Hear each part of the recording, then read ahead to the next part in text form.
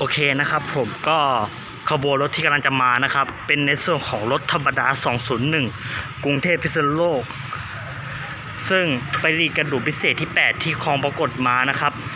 รถพุ่งออกจากสถานีรถไฟคลองปรากฏมา ตอนนี้รถล่าช้า 53 นาที ถ้าเวลาผิดขออภัยนะครับ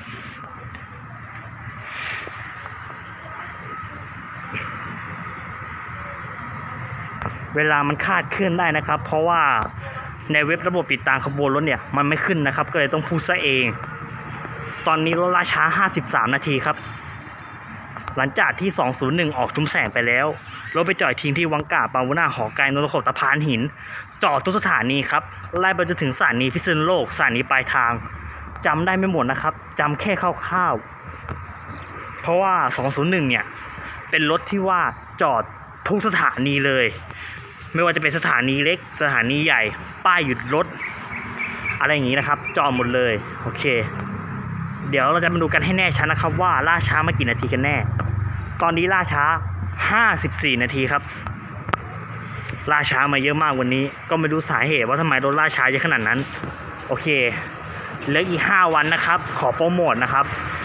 เหลืออีก 5 วันนะครับ ก็จะเริ่มงานประจำปีเจ้าพ่อเจ้าแม่ชุมแสนะครับ ศาสตร์ที่คุณเห็นอยู่นั่นแหละครับ คือศาสตร์ที่เขาเอ่อเป็นศาสตร์ชั่วคราวนะครับ ก็กำลังก่อสร้างก็กำลังสร้างจะเสร็จแล้วนะครับ แค่ครึ่งหนึ่งเท่านั้นโอเค เปิดแสงไฟมาแล้วนะครับ 201 กรุงเทพพิษณุโลก ก็งานประจำปีเจ้าพ่อเจ้าแม่ชุมแสนะครับ จะเริ่มในวันที่ 8 ถึง 13 ธันวาคม 2565 และจะแห่ในวันที่สเอ้ยขออภัย และจะแห่ในวันเสาร์ที่ 10 ธันวาคม ซึ่งตรงกับวันหยุดนะครับ คือวันรัฐธรรมนูญ มันตรงกับวันหยุดพอดีเลยคือวันเสาร์ก็ถ้าวันเสาร์ในวันนั้นเนี่ย ผมอาจจะไม่ได้ถ่ายรถไฟเลย อาจจะโพสไปเลยนะครับว่าของงดถ่ายรถไฟอย่างนี้นะครับ เดี๋ยวผมดูอีกทีหนึ่ง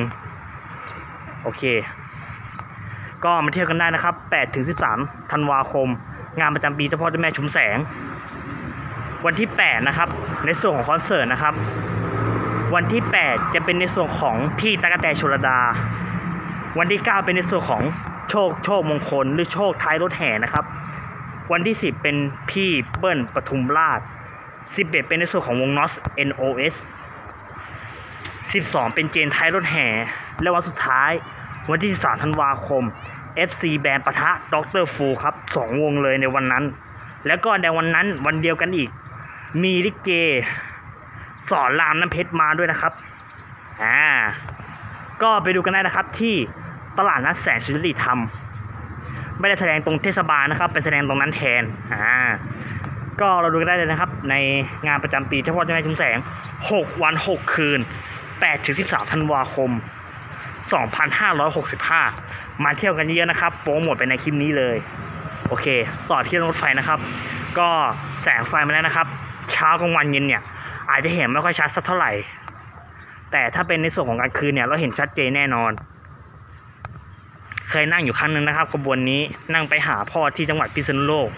นั่งขบวนนี้แหละไปลงที่สถานีพิษณุโลกเพราะว่าสถานีปลายทางนะครับ แล้วก็นั่งขบวนรถท้องที่ 402 มาลงที่ชุมแสง จากพิษณุโลกมาลงชุมแสงนะครับ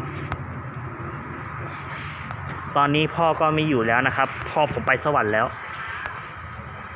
ผมก็อยู่กับย่าปู่ตาสามคน แล้วก็น้องชายผมอีกคนหนึ่งนะครับ ก็ถามว่าทุกวันนี้อยู่ได้ไหมอยู่ได้ครับ โอเคกำลังมานะครับสองศูนย์หนึ่งมีเพื่อนมาด้วยนะครับ ไปไหนเอาอ๋อ ไม่รู้ว่าเพื่อนผมจะไปหรือเปล่า เพื่อนผมนะครับ โอเคกำลังมาแล้วสองศูนย์หนึ่ง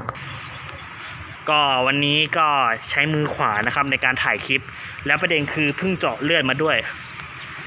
ก็อาจจะมีแบบสต็อปบ้างนะครับ เพราะว่าเมื่อย อาจจะเปลี่ยนมาถือข้างซ้ายนะครับ ข้างซ้ายผมไม่ถนัดเลยผมถนัดข้างขวา โอเค นี่แหละครับ เวลาถ่ายคลิปมันก็จะนานหน่อยขออภัยเนาะแต่ก็ดูได้นะครับนะ ก็ที่ผมถ่ายคลิปนานเนี่ยก็เพราะว่าเป็นเรื่องรถไฟทั้งหมดเลย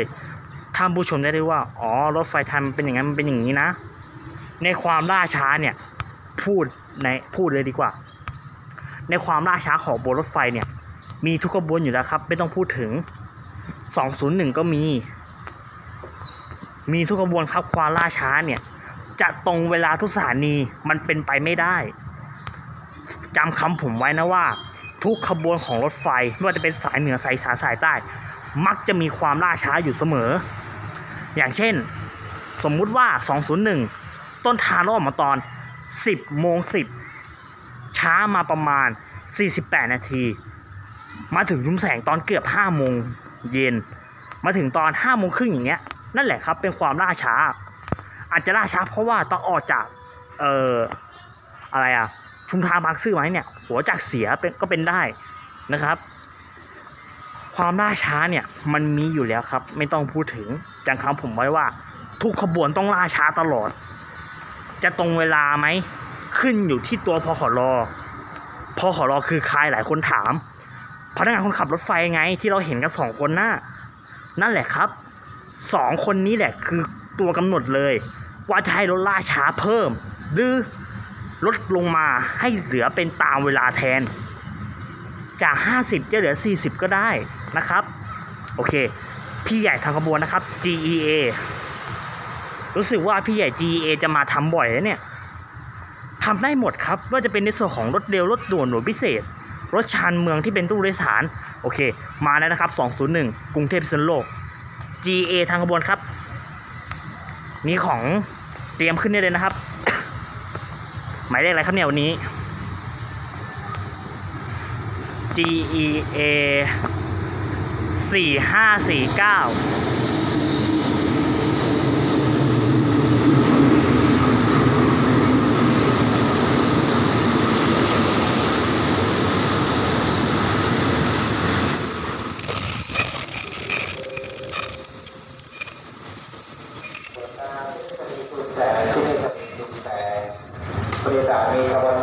ยวเราดูกันนะครับว่าวันนี้รถจะล่าช้ากี่นาที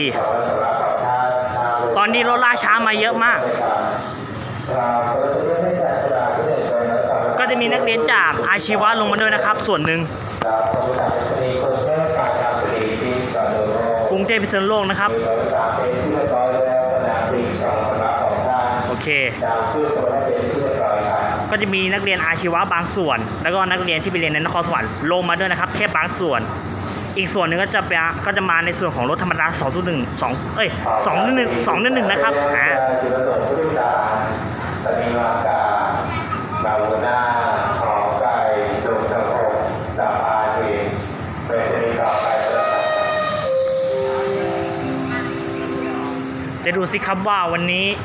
รถล่าช้ามาทั้งหมดกี่นาทีกันแน่ เวลามันไม่แน่นอนนะครับ ตอนนี้ล่าช้ามาเยอะมากเลย ตอนนี้เท่าไหร่แล้วเนี่ย โห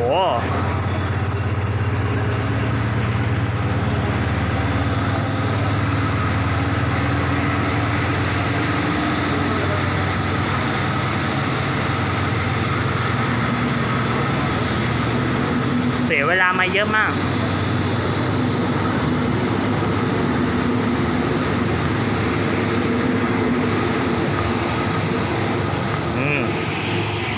ออกไปอย่างสวยงามราช้าเยอะ